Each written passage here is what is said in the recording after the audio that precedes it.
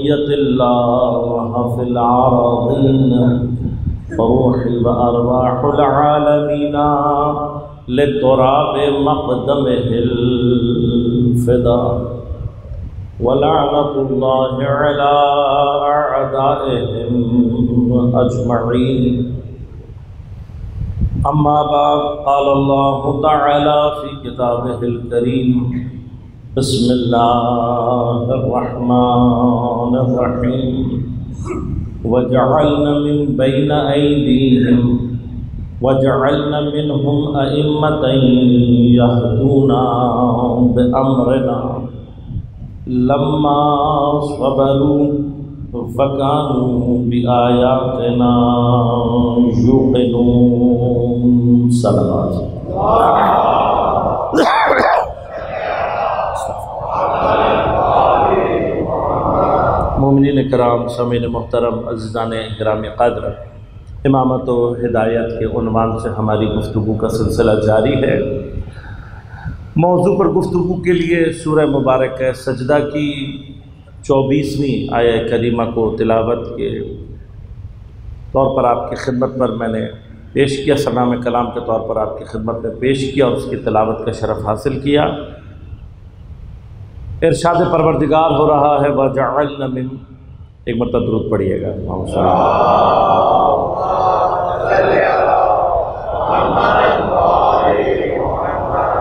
वजअल मिनहुम अइम्मत यहदूना बेअमरना और हम मुकर्र करते हैं इनमें से इमामों को यहदूना बेअमरना कि जो हिदायत करते हैं हमारे काम से लम्मा सबरू चुनाचा इन्होंने सब्र किया वकानू भी आयात यूकनून और हमारी आयात पर हमारी निशानियों पर यकीन रखने वाले हैं। गुफ्तु का महवर और मरकज़ यह है कि पैगंबर अकरम सल्लल्लाहु अलैहि वसल्लम के बाद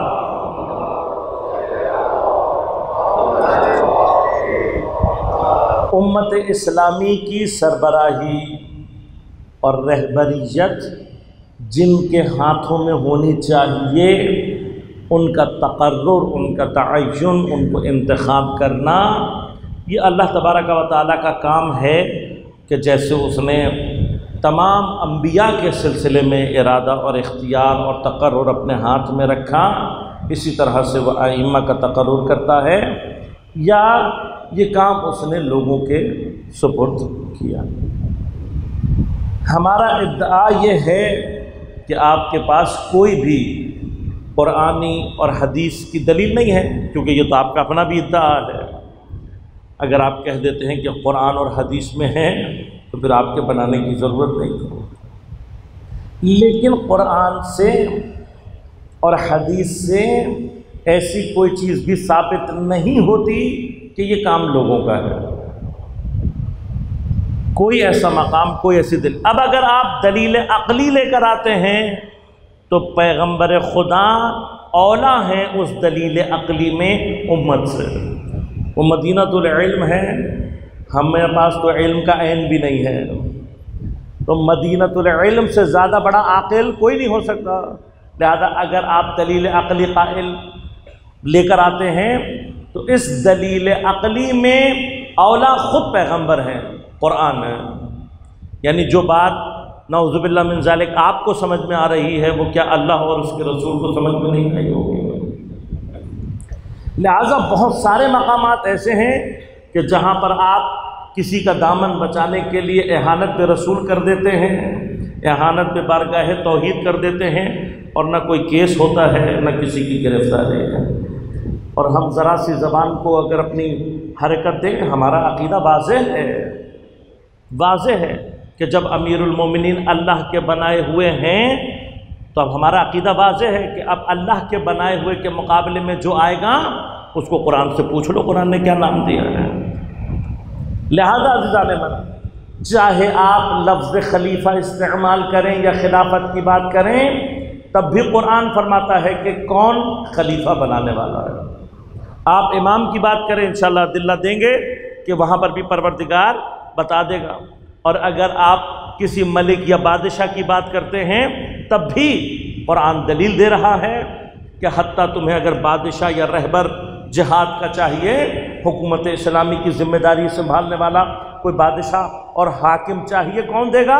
अल्लाह तबारक और परवरदिगार ने हर मकाम पर मैार को भी ज़िक्र किया।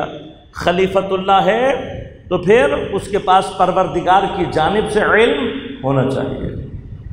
कल आपकी खिदमत में अर्ज़ किया कि जनाब तालूत सलाम के वाक़ात कि जिसको परवरदिगार ने सूर्य बकरा में 246 नंबर आयत से लेकर 251 दो सौ इक्यावन नंबर आयत तक ज़िक्र फरमाया है। इसमें भी परवरदिगार ने वाज तौर पर नबी की ज़बान से और कुरान की आयात के अंदर फरमाया इन तालूत मलिका। अल्लाह ने तालूत सलाम को तुम्हारे लिए, तुम्हारा बादशाह, तुम्हारा रहबर, तुम्हारा मलिक अल्लाह ने बनाया है। बस अल्लाह का काम है। लेकिन हज़रत तालूत के वाक़ात में जो अहम तरीन नुकात हैं, उनमें से एक ये भी बहस मौजूद है जो बहुत अहम है। इसलिए कि हमारा अकीदा सिर्फ़ ये नहीं है कि हमारे आइमासलाम पैगंबर के बाद। अब ये जो तोहमत हम पर लगाई जाती है कि जी ये लोग अपने आयमा को नबी अकरम से अफजल समझते हैं, ये तोहमत लगाने वाले झूठे और कज़ाब हैं कि इन खुदा इनका वही हाल करेगा जो उसने झूठों को वादा दिया है। हमारा अकीदा ये नहीं, हम वाज तौर पर अकीदा, कायनात में परवरदिगार की ज़ात वहदहुल्ला शरीक, इबादत के लिए सिर्फ़ वो ज़ात है, उसका हक़ है और उसकी इबादत कायनात खल्क में अल्लाह के बाद अगर कोई ज़ात अफजल है तो वो पैगंबर अक्रम सल्लल्लाहु अलैहि वसल्लम की ज़ात है।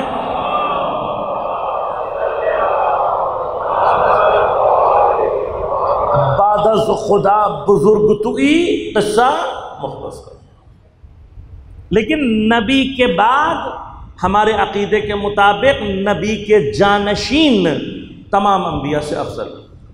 और उसकी सबसे पहली और अकली दलील ये है कि देखिए, जिस दर्जे में पैगंबर हैं, उनके जानशीन अगरचे उस दर्जे के टाइटल को एंटरटेन नहीं करते, वो टाइटल उनके लिए नहीं है, लेकिन इख्तियारात को एंटरटेन करते हैं। लिहाजा इख्तियारात को अगर एंटरटेन करते हैं तो जो ख़त्मुलमरसलीन के इख्तियारात हैं उनको एंटरटेन करने वाला दीगर तमाम अम्बिया से खुद ब खुद अफजल हो जाता है।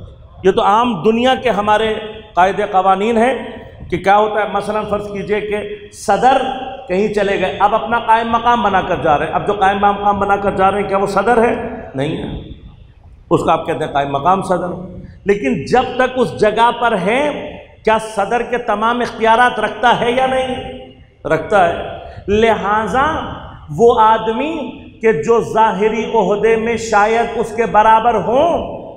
या हो सकता है कि शायद आम हालत में उससे ऊपर हो, लेकिन जैसे ही वो सदर की जगह पर बैठ जाता है तो सदर के सारे इख्तियार एंटरटेन करने लगता है। तो ये दुनिया का भी कानून है। लिहाजा तमाम आइम्मा चूँकि जान नशीनी रखते हैं ख़त्मुलमरसलीन से। लिहाजा तमाम अम्बिया से अफसर। और उसके बाद जो दूसरी दलील क्योंकि यहाँ से मद्द मुकाबिल दलील क्या है? कहते हैं जी, गैर नबी नबी से अफजल कैसे हो सकता है? तो हमसे नहीं, कुरान से पूछो। कुरान फैसला करेगा ना? भाई, न नबूवत तुम्हारे बस की बात है, ना हमारे, ये तो अल्लाह का काम है। और उसने जो किया है, वो उसका इख्तियार है। तो हम कुरान से पूछते हैं, और यही मकाम जनाब तालूत सलाम का पूरे आलम इस्लाम को चैलेंज कर रहा हूँ। कोई एक मुफसर और कोई एक मवर्रख ऐसा ले आओ जिसने ये लिखा हो कि जनाब तालूत अम्बिया में से हैं। चैलेंज कर रहा हूँ पूरे आलम को। कोई नहीं हत्या मज़ेदार बात। इल्म बारह डिस्कशन के तौर पर बता रहा हूँ। चूँकि जनाब तालूत का ताल्लुक बनी इसराइल और यहूदियों से है, लिहाजा यहूदियों के यहाँ भी आपका ज़िक्र मिलता है। और यहूदी भी इस बात के कायल हैं कि आप अंबिया में से नहीं हैं। ईसाई, चूँकि उसी मज़हब से उनके यहाँ भी जनाब तालूत का ज़िक्र मिलता है और वो भी इस बात के कायल हैं कि हज़रत तालूत अम्बिया में से नहीं हैं। अब सवाल ये पैदा होता है, लोगों ने आकर नबी से कहा, आप हमारे लिए बनाएँ। जनाब अशमुल से। जनाब अशमुल ने लाजमत था, अल्लाह को कहा, नबी हैं, अल्लाह के इसके बगैर कुछ कर नहीं सकते। तो अल्लाह अगर चाहता तो जनाब अशमुल को भी बना, कहता, भाई, मेरी तरफ़ से तुम हो इनके मलिक। लेकिन अल्लाह ने ये नहीं किया। अल्लाह ने क्या कहा? इन अल्लाह कदबसलकुम तालूता मलिका। तुम्हारे लिए अल्लाह ने तालूत को बादशाह बनाया है। अब इतनी अकल तो इंशाल्लाह होगी कि अगर कोई बादशाह बन जाए और हुकूमत उसके पास हाथ में आ जाए तो बादशाह अफसल होता है रियायत रैया कौन होता है? अफजल। आगे चलने वाला होता है या पीछे चलने वाला? यकीनन बादशाह अफजल। तो आप ज़रा कुरान से जाकर सवाल कीजिए कि अगर हज़रत तालूत नबी नहीं हैं तो हज़रत अशमुईल के बादशाह कैसे बन गए? हैं और फिर सिर्फ़ अशमुईल नहीं है, आगे ज़िक्र आएगा इन हती आपकी फ़ौज के हिस्से में जनाब दाऊद सलाम भी शामिल हैं। अब दाऊद सिपाही हैं और तालूत बादशाह हैं, अफसर हैं तो कौन अफजल है? और जनाब दाऊद सलाम ख़ास तौर पर, जनाब दाऊद साहिब किताब, साहिब शरीयत, साहिब मुजज़ा यानी उलज़म अम्बिया में से हैं। और उलज़म नबी का जो टाइटल है, नबूवत के टाइटल में ख़ातमनबीन से नीचे का जो टाइटल है, वो उलज़मियत का है। सवाल ये कैसे मुमकिन है कि एक आज़म नबी के होते हुए अल्लाह ने एक गैर नबी को उनका बादशाह और सरबराह मुकर कर दिया? तो अब यहाँ पर आप भी मजबूर हैं ये कहने पर कि हज़रत तालूत के पास विलायत का कोई एक ऐसा दर्जा है? विलायत का कोई ऐसा दर्जा मौजूद है। क्यों? यही प्रॉब्लम जनाब खजर वाले वाक़े में भी आती है। लेकिन जनाब खजर के लिए चूँकि बाज़ लोग इस बात के कायल हैं कि आप नबी हैं, लेकिन नबी के कायल हो जाने के बावजूद भी वहाँ जो प्रॉब्लम बाकी रहती है वो क्या है कि अगर अगर, जबकि है नहीं, साबित नहीं है जनाब खजर का नबी होना। लिहाजा अगर नबी हो भी साबित तो सामने जो नबी है, जो शागिर्द बन रहा है, वो उल आज़म नबी है। जनाब मूसा साहिब शरीयत, साहिब किताब तो कैसे हो सकता है? आम नबी उल आज़म नबी का मसला तो है ना यहाँ पे भी। जबकि रिवायात से साबित नहीं है। हमारे पास कोई दलील नहीं है कि जनाब खैजर अम्बिया में से हो। लिहाजा ये मकाम दूसरा है कि जहाँ पर कोई नबी किसी को, कोई गैर नबी किसी आज़म नबी का उस्ताद बन रहा है। लिहाजा जालंधरी साहब ने जब इस मकाम पर तर्जुमा किया तो आगे जनाब खजर के बाद लिखा नबूवत, ब्रैकेट में करके या नबूवत या विलायत। तो मैं जालंधरी साहब से पूछता हूँ, अब पता लगा विलायत कहाँ कहाँ काम आती है। विलायत के बगैर मसला हल नहीं हो सकता। लिहाजा आप मजबूर हैं, दोनों मकाम पर यह मानने के लिए कि इन दोनों के पास विलायत का कोई दर्जा, विलायत का कोई मकाम था और ये विलायत का वो मकाम है कि जो नबी ना होने के बावजूद नबी से अफजल होता है। तो अगर तालूत किसी साहिब किताब, साहिब शरीयत आज़म नबी का रहबर हो सकता है तो अली तो तालूत का भी इफ्तार है।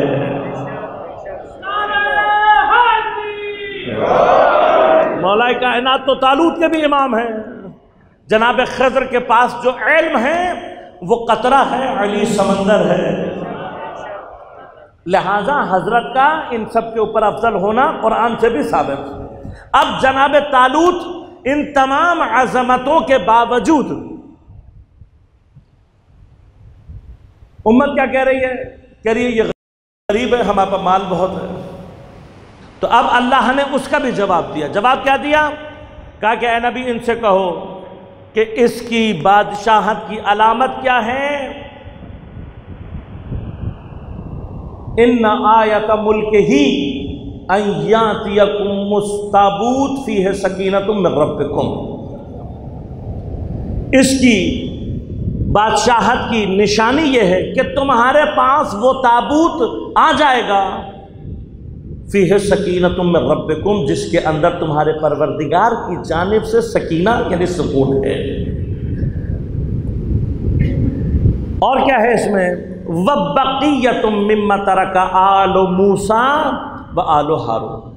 आल मूसा और आल हारून का तरका, जिसको दूसरी इस्तेलाह में कहते हैं विरासत।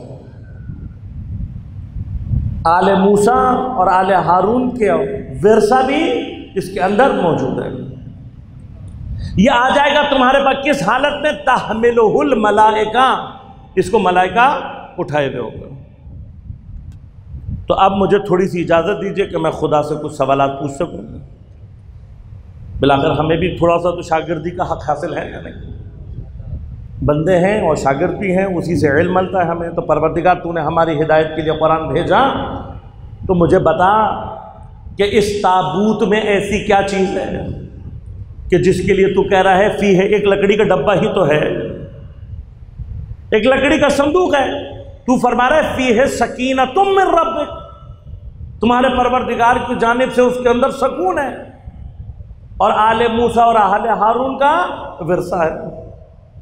और आज़मत यह है कि इसे मलाइका उठा लाजमत जब अल्लाह मलाइका भेज रहा है उठाने के लिए तो बाज़मत चीज़ होगी, तभी अल्लाह ने मलाइका को भेजा। और इस सारी बात को अल्लाह ने इनके लिए जनाब तालूत की, बादशाहत की निशानी बनाया। ताबूत क्या है, ये अर्ज़ करूँगा आपकी खिदमत में। तमाम मुफसरीन ने मुतफ़ होकर लिखा कि जब तक बनी इसराइल ने इस ताबूत की अजमत इसका एहतराम और इसकी ताज़ीम को बाकी रखा? उस वक्त तक दुनिया में नामवर, इज़्ज़त, शोहरत सब थी उनके पास। लेकिन जब उन्होंने इसका एहतराम करना छोड़ दिया तो खुद भी जलील और रसवा हुए। यहाँ तक कि जालूत उनके ऊपर हावी हुआ। उसने कत्ल गारत करी की, इनको गुलाम और कनीज बनाया, लोगों को कत्ल किया हत्ता ताबूत इनसे छीन कर ले गया। तो अब एक बात समझ में आ रही है कि कुछ शायर की ताजीम दीन में ज़रूरी भी है और अल्लाह भी उनका इतना एहतराम करता है। अब अल्लाह ने क्या किया? जब ये सारी सिचुएशन यहाँ पे चल रही थी, ताबूत भी हाथ से चला गया है, वहाँ अल्लाह ने इंतज़ाम किया कि जब जालूत लेकर गया ताबूत को तो मुख्तलिफ़ किस्म के अमराज और मुश्किलों में पै दर पै मुबतला होने लगा। उसके जो काहिन वगैरह उसके साथ थे, मजहबी रहनुमा, उन्होंने जालूत को कहा, भाई, जब से तू ये ताबूत लेकर आया, तब से मुश्किलों में है। इससे जान छुड़ा, इसे निकाल, वापस कर दे। अब वापस कैसे करें? अगर ऐसे देंगे जाकर तो बेजती होगी। तो कहा, क्या करें? कहा कि एक बैलगाड़ी पर रख कर बैलों को आज़ाद छोड़ दो। इन्होंने बैलगाड़ी पर रखकर आज़ाद छोड़ा। वहाँ से परवरदिगार ने फरिश्तों को भेजा। रिवायत के मुताबिक, या उन बैलों को हंका कर ले आए फरिश्ते, या दूसरी रिवायत के मुताबिक वहाँ से ताबूत को उठाया और इनके पास ले आए अब जब फरिश्ते ताबूत लेकर पहुँचे तो पूरी बनी इसराइल जो थी वो बहुत ज़्यादा रह गई और बिलाखिर उन्होंने जनाब तालूत की हुकूमत को कबूल कर लिया। अब इस ताबूत का इतना एहतराम कि परवरदिगार मलाइका भेज रहा है। बनी इसराइल इसका एहतराम ना करें तो जलील खार तो यकीनन कोई चीज़ है? क्या है? ताबूत की हिस्ट्री ये है कि ये संदूक, ये लकड़ी का बक्सा हज़रत मूसा की वालिदा के पास था। और हज़रत मूसा की जो वालिदा थी, जब उन्होंने फ़िरौन के खौफ से हज़रत मूसा, आपका हम ज़ाहिर नहीं हुआ था। बेन ही इसी तरह से इमाम ज़माना सलाम का भी हमल ज़ाहिर नहीं हुआ था। अल्लाह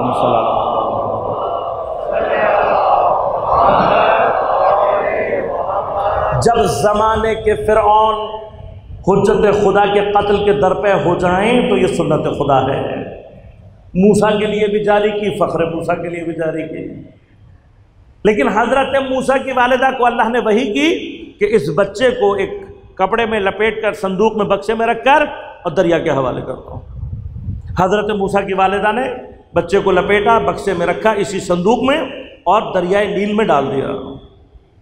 हज़रत मूसा की बहन इस ताबूत के साथ साथ चलती रही ताकि देखें कि ताबूत जा कहाँ रहा है।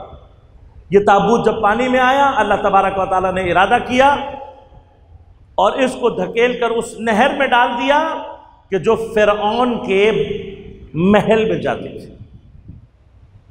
और ये उस नहर में बहता हुआ जब वहाँ पहुँचा तो वहाँ जनाब आसिया सलाम अपनी कनीज़ों के साथ मौजूद थी। मूसा एक माँ की आगोश से निकलकर दूसरी माँ की आगोश में पहुँच गया। अब जनाब मूसा, सवाल इतना सा है, कितनी देर इस ताबूत में लेटे होंगे? कितनी देर? ताबूत को दिनों का काम भी नहीं, घंटों का काम है, ज़्यादा से ज़्यादा घंटे। आपने यहाँ से डाला, उन्होंने वहाँ से निकाला, कितने घंटे? कुछ भी नहीं। चंद घंटे और कीजिएगा बस। चंद घंटे नबी जिस ताबूत में लेट जाए, अल्लाह के नज़दीक वो मोहतरम हो जाता है। खुदा उसको बायस सुकून करार देता है। उसका एहतराम करने वालों के एहतराम को बाकी रखता है। लेकिन कोई एहतराम ना करे तो अल्लाह उसे जलील खार कर देता है। तो मुसलमानों, मिल के मुझे बताओ कि जिस ज़मीन में खुद पैगंबर अकरम मौजूद हो, जिस जरी में मासूम का जसद अजहर कई सौ सालों से मौजूद हो तो वो जरी अल्लाह के नज़दीक कितनी मोहतरम होगी? उस जरी के अंदर कितना सुकून होगा? वो कितनी मोहतरम होनी चाहिए। बस कुरान ये बता रहा है कि जो चीज़ मासूम से मंसूब हो जाए, वो अल्लाह के नज़दीक मोहतरम हो जाती है बारिश सुकून बन जाती है। तो आप समय हमारे ताबूतों का फलसफा समझ में आया? ये ताबूत मंसूब होता है मासूम से मासूम से मंसूब हो जाए। काबिल एहतराम भी हो जाता है बारिश सुकून भी हो जाता है।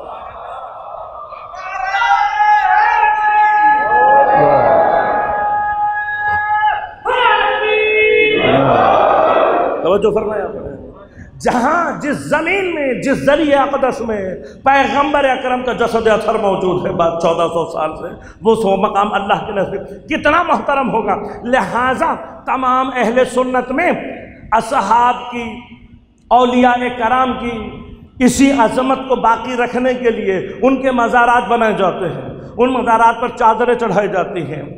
इसी वजह से चढ़ाई जाती है ना।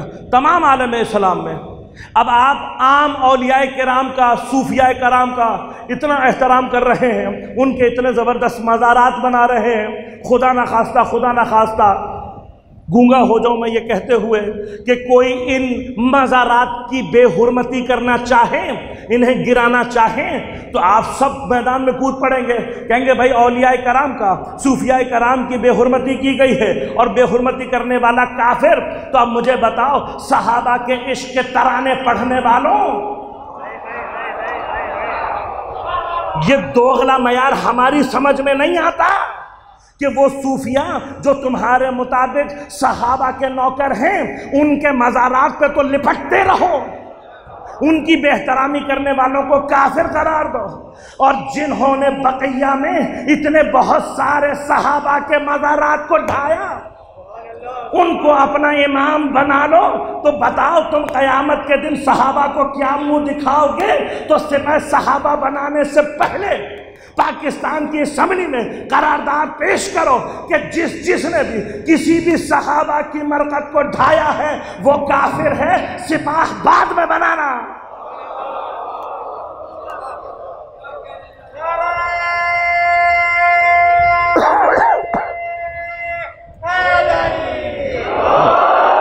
तो सिपाह बनाना तो बात का काम है।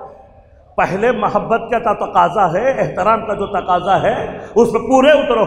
लिहाजा ये हमें समझ में नहीं आता कि नबी के एक अदना ग़ुलाम की मरकत को तो चूमते हो सवाब के लिए, और पैगंबर की मरकत पे चुपचाप कोड़ा खा लेते हैं।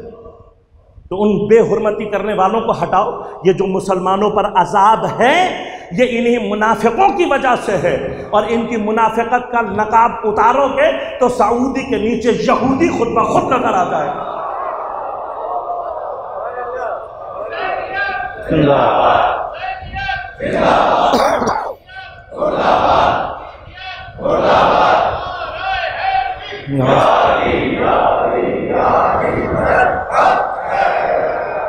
सारा अजाब इन्हीं की वजह से।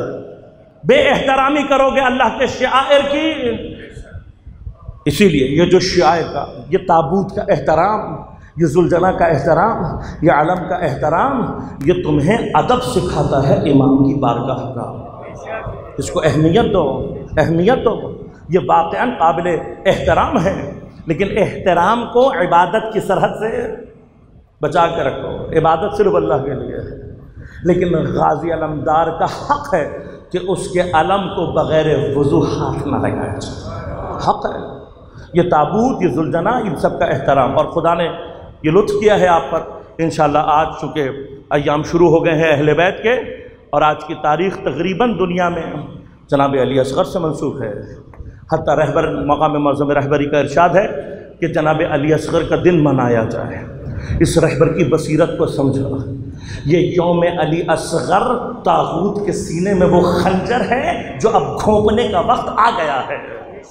समझे इस बसीरत को, मनाएँ, योम अली असगर मनाएँ। और आपको अल्लाह ने ये इन तोफ़ी इनायत की है कि आज जो झूला बरामद होगा इन वो मकाम जनाब अली असगर, करबला में जो मकाम अली असगर है, वहाँ से हिदिया आया है। लाने वालों की तोफ़ीक़ात और सारे सिलसिले में जितने भी मोमिन हैं, सबके लिए खसूस जिनकी सेहत के लिए कहा है, हमारे बरदर बुज़ुर्ग ने भी कहा है, और जितने लोगों ने कहा है, सबकी सेहत और सलामती के लिए एक मरतबा बुलंद आवाज़ से दुरुद पढ़िएगा।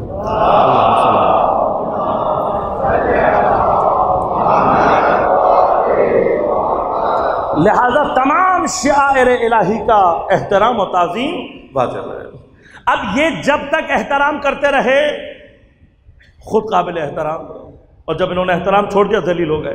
अब अल्लाह ने चूँकि एहतराम वापस करना है तो ताबूत सकीना भी वापस आया। क्या है ताबूत सकीना में उसके अलावा? परवरदिगार की जानब से सुकून के अलावा क्या है? हा आले मूसा और आले हारून का तरका उनकी विरासत।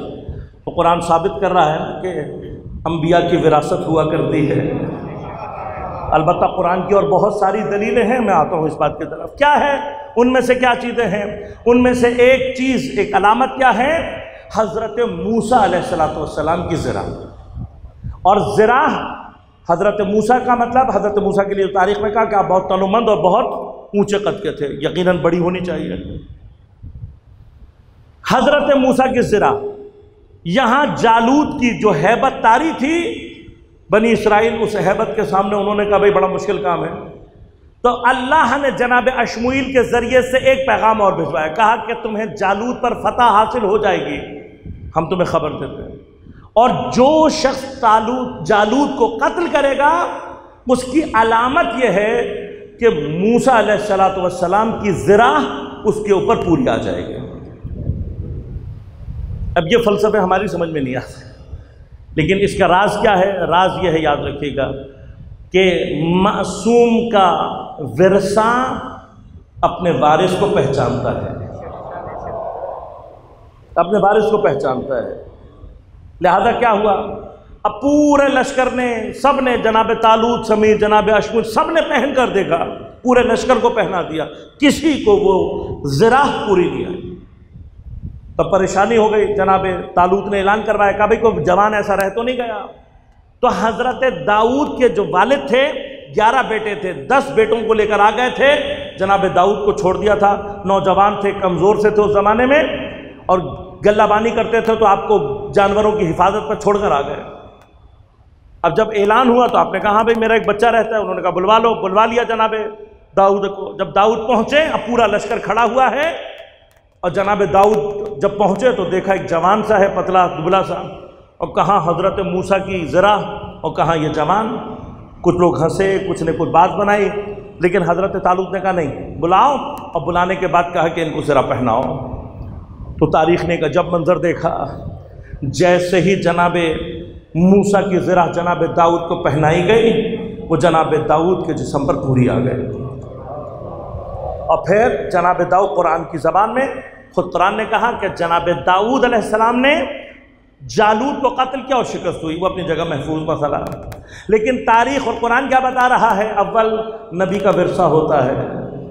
दो दोम अपने वारिस को पहचानता है। यही मसला पैगंबर की शहादत के बाद अब मुसलमानों में बातें हो रही हैं। ये बातें चूँकि शुरू से थी, कौन बरहक जानशीन है, कौन नहीं है। तो एक दिन जनाब अब्बास इबन मुतलब पैगंबर के चचा अमीरमिन के चचा आए और आकर कहा कि, या अली, अगर तुम्हारे पास पैगंबर की की तलवार, पैगंबर का अमामा और पैगंबर का घोड़ा है? तुमने क्यों रखा हुआ है? आपने फरमाया, पैगंबर का तरका है, विरासत है, हमें विरासत में मिला है। तो आपने कहा कि मैं भी चचा हूँ, मेरा भी हिस्सा बनता है। तो मौला ने फरमाया कि पैगंबर का विरसा सिर्फ़ मासूमों को जाता है। इर्स हकदारों को जाती है। उन्होंने कहा, है, उन्होंने कहा, कोई मसला नहीं, कल तमाम असहाब को ले आइएगा और मैं भी आ जाऊँगा, आप भी आज फैसला हो जाएगा। अगले दिन असाब को जमा किया गया, जनाब अब्बास भी आए, मौला कायना तीनों चीज़ें लेकर आ गए और कहा, कोई मसला नहीं है। आप इनमें से जो मर्ज़ी ले जाना चाहें, ले जाएँ, लेकिन शर्त यह है, तलवार बांधेंगे और ले जाएँगे, अमामा पहनेंगे और ले जाएँगे, घोड़े पर सवार हो, ले जाएँ, चाहे तीनों चीज़ें ले जाएँ। अब हज़रत जो थे, बैठे अब्बास, उन्होंने बैठकर तलवार कमर में बांधी और पैगंबर का मामा सर पे रखा। अब खड़े होना चाहते हैं तो खड़ा नहीं हुआ जा रहा। बहुत ज़ोर लगाया, लेकिन नहीं खड़े हो गए अच्छा न तलवार कमर में पूरी आ रही, न सर पर अमामा पूरा आ रहा। लेकिन रख लिया जैसा तैसा। बाँध ली जैसे भी थी। अब उठना चाहते हैं और उठा नहीं जा रहा। बिलाखिर ये सोच के कि शायद तलवार का वज़न ज़्यादा होगा, तलवार खोल दी। तलवार खोल दी, लेकिन फिर भी नहीं उठा जा रहा। मजबूर होकर अमामा भी उतार दिया अब अमामा उठा तो खड़े हो गए। अब दिल में सोचा इन्होंने कि चलो, ये तो अलग चीज़ें हैं, वो घोड़ा जानवर है। इसी को ले जाता हूँ। जैसे ही उसके नज़दीक पहुँचे, उसने एक लात रसीद की, बेहोश हो गए। होश में लाया गया, उठाया गया, उठते ही कहा कहा या अली, अगर तुम हकदार हो तो तुम ये करके दिखा दो। हज़रत अली ने तलवार बांधी तो कमर पे पूरी आ गई। अमामा सर पे रखा तो पूरा आ गया। घोड़े पर बैठे चक्कर लगाया। चक्कर लगाकर उतरे। उतरने के बाद इमाम हसन को आवाज़ दी। किसको आवाज़ दी? इमाम इमाम हसन अभी बच्चे हैं। इमाम हसन छोटे हैं। कहा, हसन, आओ, इन सब के सामने तलवार बाँध के दिखाओ। जब तलवार बांधी कमर पे पूरी आ गई। अमामा पहना सर पे पूरा आ गया। आप घोड़े पर बैठो, खड़े हुए घोड़े पर बैठे, चक्कर लगाया, आकर उतरे। जैसे ही इमाम हसन उतरे, आवाज़ लगाई, हुसैन! हुसैन उनसे भी छोटे हैं, बुलाया, कहा, अमामा पहनो, अमामा पहना, पूरा आ गया। तलवार बांधो, कमर में पूरी आ गई, उठे, घोड़े पर सवार हुए, चक्कर लगाकर वापस पहुँच गए। मौला कायनात ने कहा मैंने तुमसे कहा नहीं था, नबी का एर्स नबी की इर्स नबी का विरसा अपने वारिस को पहचानता है। हकीकी वारिस को पहचान, इसीलिए याद रखिएगा, इमाम ज़माना सलाम अजल्ला फ़रज शरीफ। इमाम की अलामत में से एक अलामत क्या है? आपके पास तमाम अम्बिया तमाम अम्बिया और तमाम आइम्मा के जितनी भी इरस है, वो आपके पास मौजूद होगी। और आपसे इन सब चीज़ों को तलब किया जाएगा, ताकि ये साबित हो सके कि हकीकी इमाम कौन है। आपकी अलामतों में से एक अहम अलामत ये है। लिहाजा मासूम का वरसा, नबी का इरसा अपने वारिस को पहचानता है। तो जनाब सैदा अपना इर्स हक लेने गई थी। देखिए ये तो फ़िक के बड़े इब्तदाई से मसले हैं। अगर कोई चीज़ मेरी मिल्कियत में हो और आप इद्दा करें कि ये आप मेरी नहीं हैं तो गवाही आपको लानी पड़ेगी, मुझे नहीं लानी पड़ेगी। कायदा मिल्क है, कायदा यद है, जो कि तमाम फ़िक्शिया सुन्नी सब में जारी है, इस्लाम की कॉमन फ़िक है मसलन, मेरे पास ये कपड़ा मौजूद है, अगर कोई आकर इद्दा करता है कि ये कपड़ा मेरा नहीं है, उसका है तो चूँकि मेरे हाथ में है, गवाही मुझसे तलब नहीं की जाएगी, उससे तलब की जाएगी। और तारीख में यह मकाम मौजूद हैं। खुद मौला कायनात के ज़माने में आपकी इमामत और खिलाफत के होते हुए ये वाक़ पेश आया। आपकी ज़रा एक यहूदी ने चुरा ली।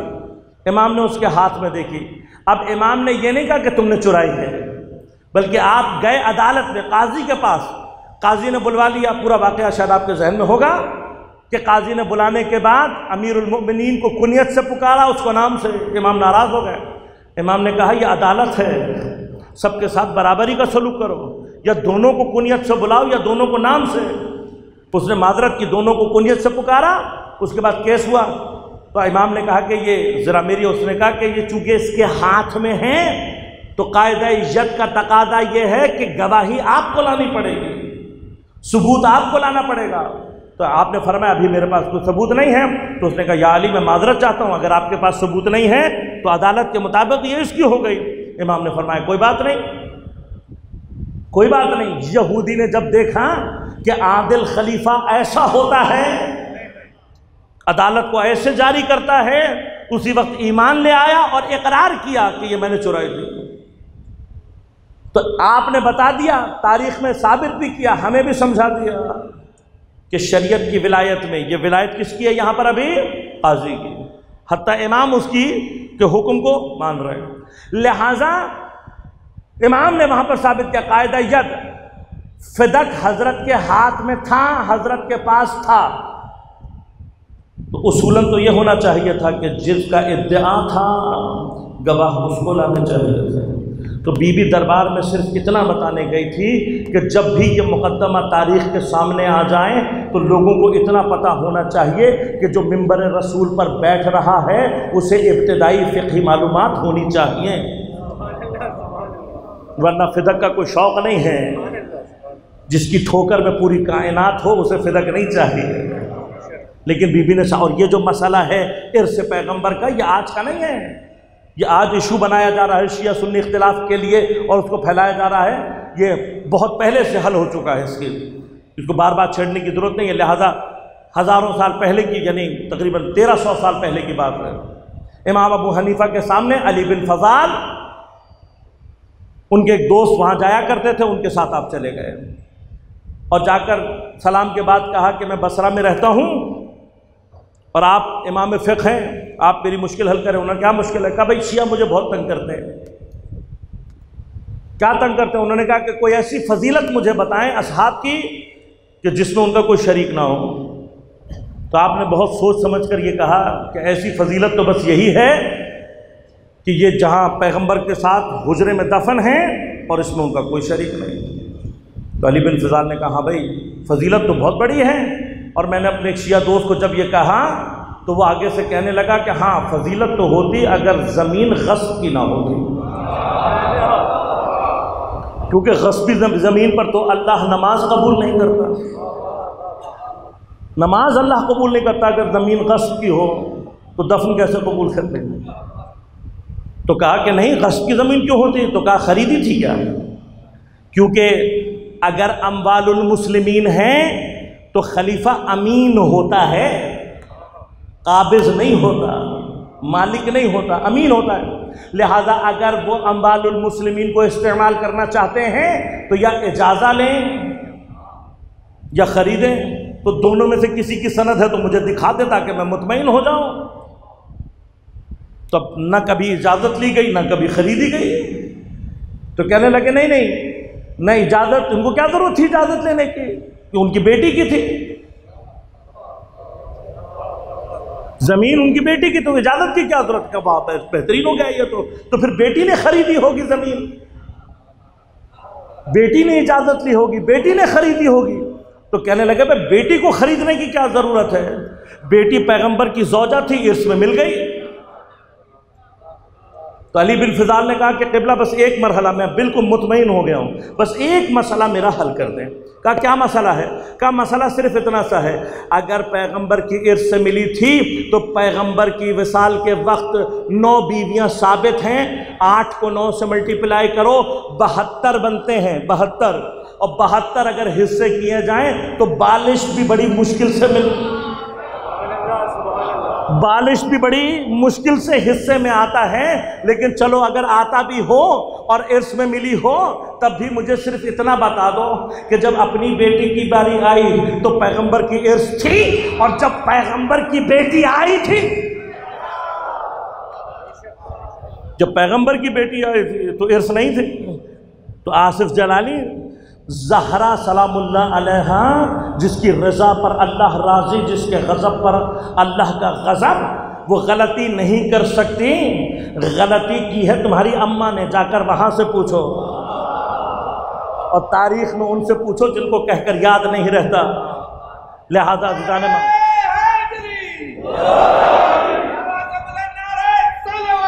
अल्लाह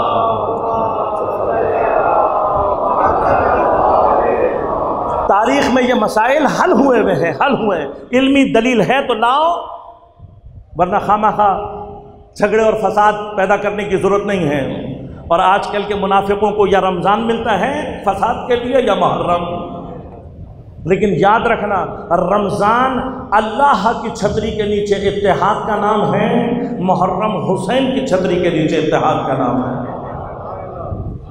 वहाँ पर भी मुनाफिकों का मुँह काला होता है, यहाँ पर भी इंशाल्लाह मुनाफिकों का मुँह काला होगा।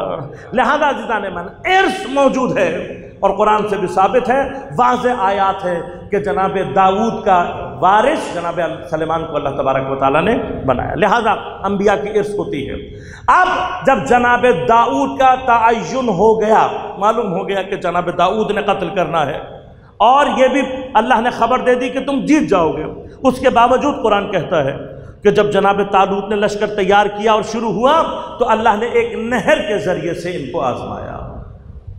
अल्लाह ताला अब भी ये बताना चाहता है, अक्सरियत कभी हक के साथ नहीं होते जबकि अभी जनाब अशमुल नबी हैं, जनाब दाऊद नबी हैं, जनाब तालूद वली हैं, हाकिम हैं। इतने लोगों के होने के बावजूद नहर आई। हज़रत तालूद ने अल्लाह के हुक्म से कहा कि कोई भी शख्स चंद घूट से ज़्यादा पानी ना पिए। लेकिन जो मुनाफिक मौजूद थे, उन्होंने शोर मचाया, नहरों में कूद गए और खूब पेट भर के पानी पिया। मोमिन जो थे, उन्होंने दो या तीन चुल्लो जो पानी हुक्म था, वो पी के पीछे हट गए। अब कुरान कहता है, पूरे का पूरा लश्कर अक्सरियत, नहर में कूद गई, पानी पिया, बाकी सब पेट के मरज में मुबतला हो गए। और अब इस इम्तहान, यानी अल्लाह ने जनाब तालू जनाब अशमुल जनाब दाऊद और कुरान में ज़िक्र करके हमें भी बता दिया कि अक्सरियत कभी पैगंबर के साथ नहीं होती। नहीं बात मान अब जब ये लश्कर के सामने पहुँचे तो मुनाफिक तो ज़ाहिर हो चुके थे। लेकिन जब इन्होंने लश्कर की हैबत और अजमत को देखा तो एक मतलब टांगे लरस गई और कहने लगे कि हज़रत दाऊद से, हज़रत तालूत और हज़रत अशमुल से, और उन मोमिन से कि आप जाकर लड़ो, हम नहीं लड़ सकते। ला ताकत नलियोम हमारा आज के दिन हमारे अंदर कोई ताकत नहीं है कि हम जालूद से मुकाबला कर सकें। लिहाजा इन्होंने साफ़ इनकार कर दिया। अब कुरान कहता है मोमिन की एक छोटी सी जमात। और कीजिएगा मोमिन की एक छोटी सी जमात। इलाही नुमाइंदों के साथ एक बड़े लश्कर से मुकाबला उसका हुआ। और जब इन्होंने देखा कि इतना बड़ा लश्कर है तो उन्होंने एक जुमला कहा दुआ मांगी, कहा, रब्बना अफरगना सबरा व सब्बित अकदामना वनसुरना अलल कौमिल काफरीन। जब इन्होंने ये दुआ मांगी मोमिन की छोटी सी जमात थी, अल्लाह ने जनाब दाऊद के ज़रिए से जालूद को हलाक कराया और बाकी सारी की सारी फौज पसवा होकर फरार कर गई। तो जब ऐसा हुआ तो अल्लाह ने आवाज़ दिखा कम मिन फ़ियतिन कलीला, गलबत फ़ियतन कसीर बेज़नल्लाह बहुत ऐसा होता है कि कोई छोटा सा लश्कर अल्लाह के इज्ल से, किसी बड़े से लश्कर के ऊपर गालिब आ जाए। मैं कहूँगा, परवरदिगार से, तूने इस उम्मत के लिए कुरान नाजिल किया। कोई ऐसी मिसाल मुझे अगर मेरे ज़माने में मिल जाए, जहाँ मोमिन की कोई छोटी सी जमात किसी बड़े कुफार के लश्कर पर गलबा पाले और वो ये कहती हुई नज़र आए रबना अफरगल सबरा व सब अकदामना मंसूर अला मंसूरना अलकौमिल काफरीन। तो हमारे कलूब को भी मुनवर हो जाएगा, हमारे कलूब को भी मिसाल और इतमान मिल जाएगी। तो परवरदिगार तो बता दे तो परवरदिगार ने इशारा किया कि लबनान की सरजमीन की तरफ़ देखो। अभी कुछ ही साल पहले, अभी कुछ ही साल पहले तैंतीस रोज़ा एक जंग हुई थी। तुम्हें याद हो कि ना याद हो, हमें सब अच्छी तरह से याद है और हम दोहराते रहेंगे। एक मोमिन की छोटी सी जमात थी। इलाही नुमाइंदों के साथ थी तो हमने सामने दुनिया की सुपर पावर और सबसे ताकतवर और सबसे बड़ी फौज बनाने वाले दावेदार मौजूद थे। आमना सामना हुआ और जितने भी मुनाफिक थे, वो अपने घरों में दुपक कर बैठे हुए थे। ये लोग क्या कह रहे थे? कह रहे थे रबना अफरगलना वो सब तकदामना वनसुरना अलकौमिल काफिरून। तो अल्लाह ने कहा, तुम ही हिजबुल्ला हो, और आज तुम्हारी छोटी सी ये फौज, एक बड़ी फौज के ऊपर कामयाब होगी। तो दुनिया ने देखा, छोटी सी हिजबुल्लाह ने यहूदियों की सबसे बड़ी फौज को तैंतीस दिन में शिकस्त देकर उनके गुरूर को खाक में मिला कर बताया कि ज़मीन पर इलाही नुमाइंदे कौन है?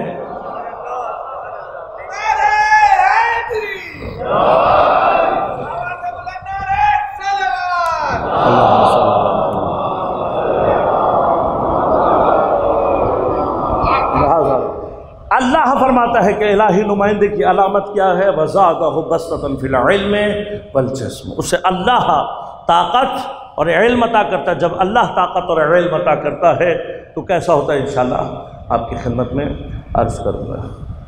इमाम हुसैन अपने साथ जो लश्कर लेकर जा रहे हैं, ये अपने ज़माने की हिजबुल्लाह है। लेकिन इस हिजबुल्लाह का एक एक सिपाही अपने अंदर लश्कर है। और हज़रत सबको एक ख़ास प्लानिंग के साथ लेकर गए हैं। और मकसद है हर एक का। हज़रत अली अकबर सलाम सबसे बड़ा मकसद क्या है कि तारीख़ जब भी दोहराएगी, सूरत पैगंबर को इतनी बेदर्दी से कत्ल करने वालों को मुसलमान कभी नहीं मानेंगे। लेकिन हुसैन की मजलूमियत और करबला में मेरे मौला की इसमत और करबला में इमाम हुसैन की बेगुनाही की अख्तामी मोहर का नाम अली असगर है। गर्चे इमाम का सबसे छोटा सिपाही है। लेकिन हुसैन का सबसे बड़ा लश्कर अली असगर जनाब अली असगर उलमा ये जुमले कहते हैं कि इमाम ने अपने असहाब को मुक़दम रखा अपने बच्चों पर। क्यों? कहा, इसलिए कि करबला में एक इम्तिहान प्यास का भी था।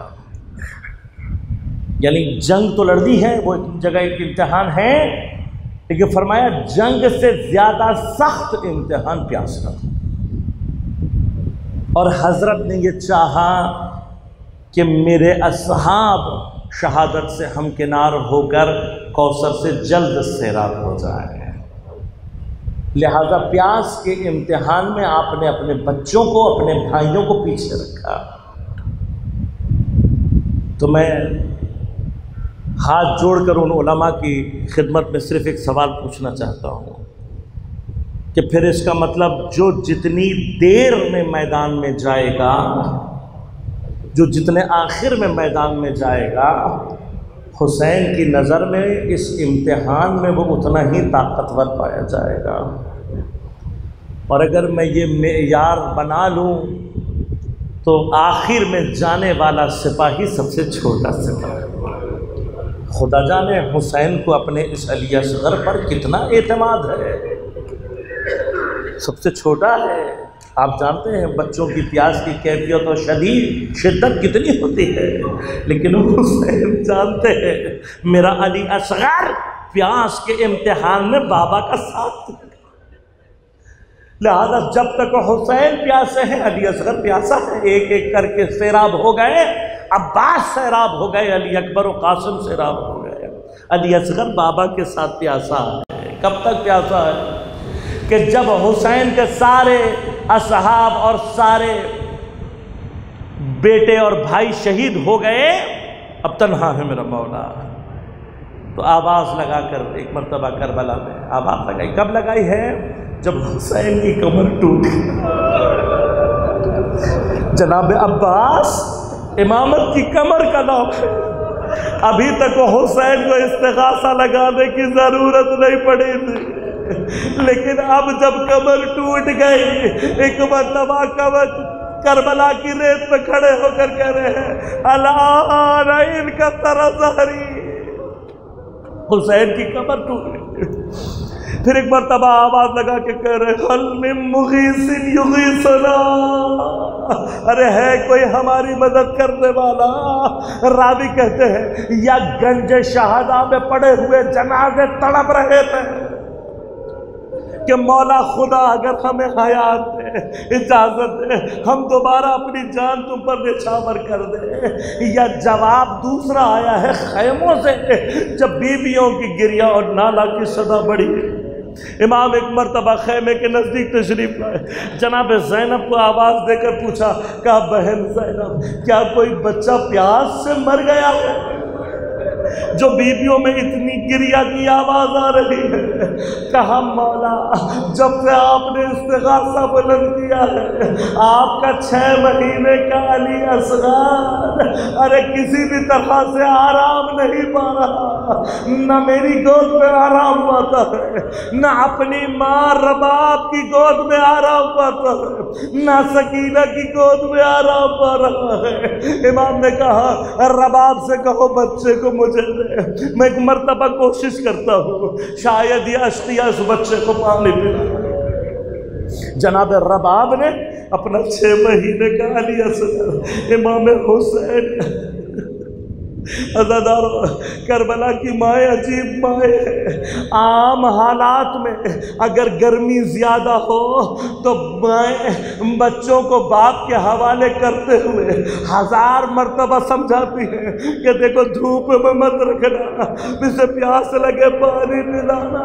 लेकिन जिस मकतल से कोई वापस ना आया हो सोचो रब आपने किस दिल के साथ अपना अली असगर हुसैन के हवाले किया? लेकिन रबाब ने अपना बेटा दे दिया। हुसैन, एक मरतबा अली असगर के चेहरे को देख रवाना हुए हैं मैदान की तरफ़। अजादार रावी कहते हैं, धूप की तमाशत और गर्मी से हज़रत अली असगर के रुखसार सुर्ख होना शुरू हो गए तो जब इमाम ने देखा, एक मरतबा अपने आबा के दामन को अली असगर के ऊपर डाल दिया। अरे मेरे बच्चे को धूप तकलीफ़ ना दे। इस आलम में जब ज़रा नज़दीक हुए, वहाँ किसी ने आवाज़ लगा कर कहा, हुसैन कुरान लेकर आ रहे कि कुरान को दरमियान में रख के हमसे पानी मांग ले। इमाम ने सुनते ही अबा के दामन को हटाया। लश्कर ने देखा, हुसैन के हाथों पर एक छः महीने का बच्चा है। इमाम ने आगे करके कहा, अरे मुझे नहीं, इसे पानी पिला दो। इसकी माँ का दूध खुश्क हो। गया इसे दो बूंद पानी पिला किसी मलून ने कहा, खबरदार, हुसैन बच्चे के बहाने पानी मांगना चाहते हैं तो ये सुनना था, मेरे मौला ने उस अली असगर को, जिसे अभी धूप से बचा रहे थे, जलती हुई रेत के ऊपर।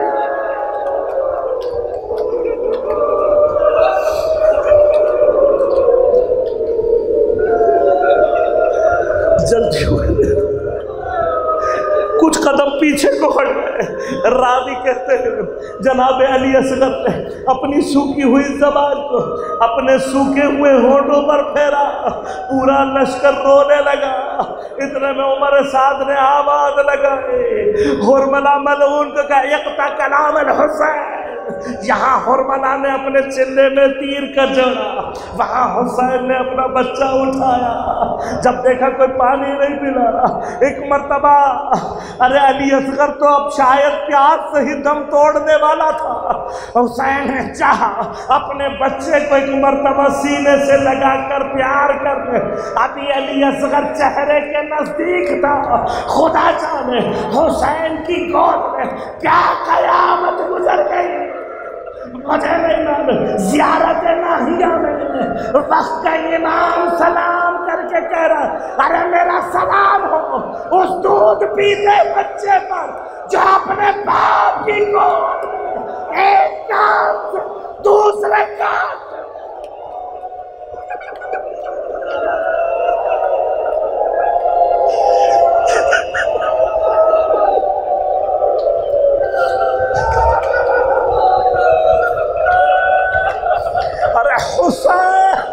अपने अली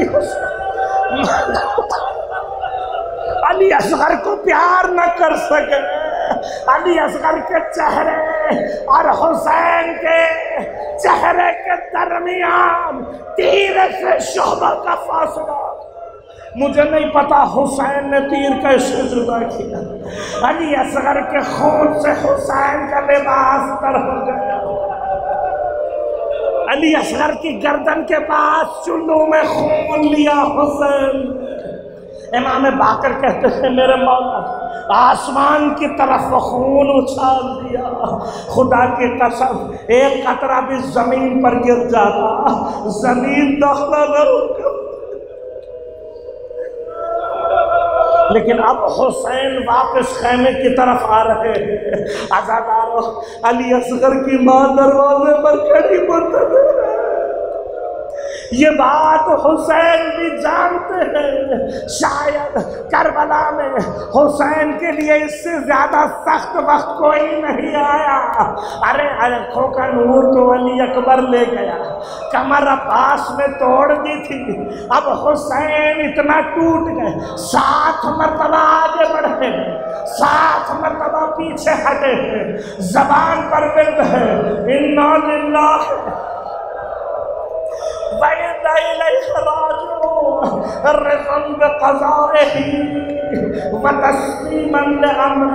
लेकिन मैं रबाब को बच्चा कैसे दिखाऊँगा? हुसैन ने अपना रास्ता मोड़ लिया। रबाब दरवाजे से देख रही थी। एक मरतबा दिल थाम कर ज़मीन पर बैठे। इमाम पुष्ट खेमा गए अली असगर को दफन करके, अली असगर के खून से लिबास लगा। भरा हुआ। एक मरतबा जब इमाम खैमे में आए। अरे अली असगर को दफना कर। हुसैन इतना गरीब हो गया था। बीबियाँ पहचान न सकी।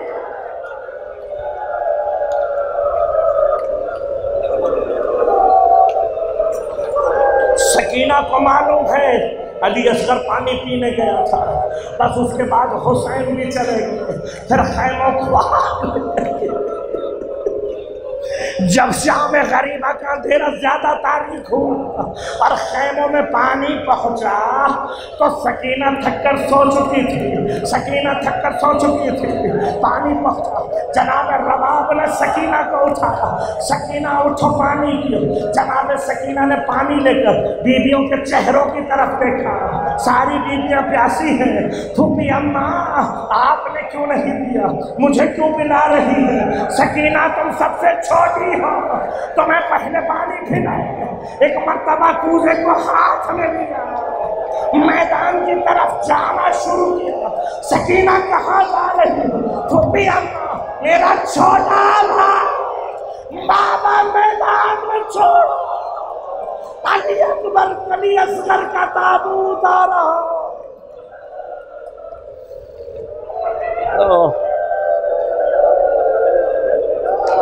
Thank